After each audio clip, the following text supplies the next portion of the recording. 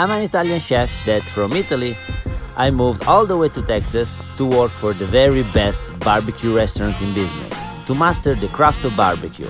Now I'll teach barbecue worldwide. My name is Max and this is Texicana Barbecue. Texicana Barbecue everybody! So today, how to trim a brisket, or at least the way I trim it. We have a lot of fat in this brisket. So my first gesture is to clean up a little bit this, uh, uh, this extra fat uh, on the flat.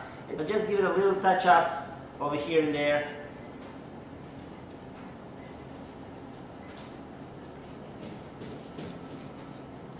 Big chunk over here. Okay, this side, as you can see, has a different color. Seems like it's cooked.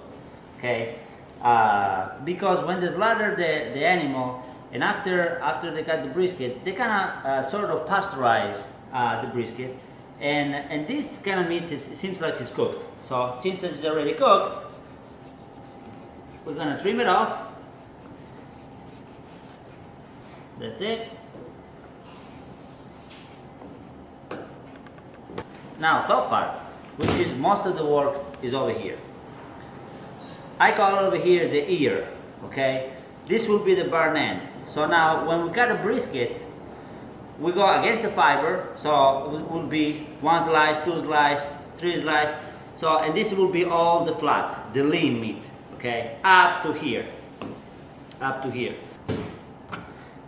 This fat over here, I'll cut it off.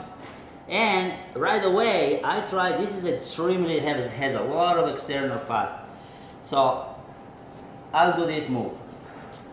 We have to sacrifice a little bit of this, which really is not too much, you know, uh, but this is the shape that I want.